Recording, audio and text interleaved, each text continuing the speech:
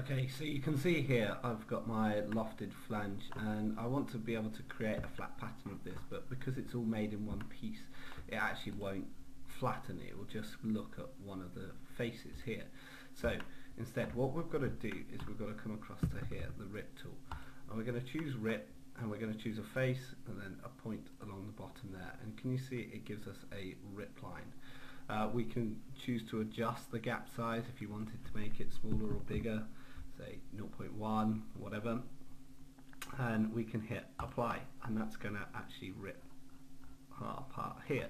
Now if we go to the flat pattern you'll see we get a lot different result. We get the whole thing folded down. Okay which is good. However if we take a quick measurement from say here to here you'll see that this is at 3 meters 257 so it's actually quite a large piece and probably bigger than what we'd actually sort of manufacture it. In fact we'd probably do it in four separate pieces.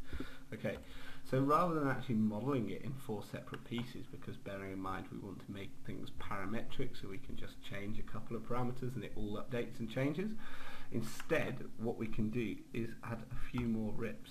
So we're going to choose this face over here and we're going to choose this midpoint here and then we're going to choose this face here. And we're going to rip it there. And then lastly we're going to do one here and rip it about that point there like so. Okay this time you'll see when we go and create the flat pattern it will only give me one of the segments rather than the whole thing which is really pretty useful. From there we can right click on that export face to DXF and send it out for laser cutting or whatever Brilliant. Hope you found it useful. Thanks for watching.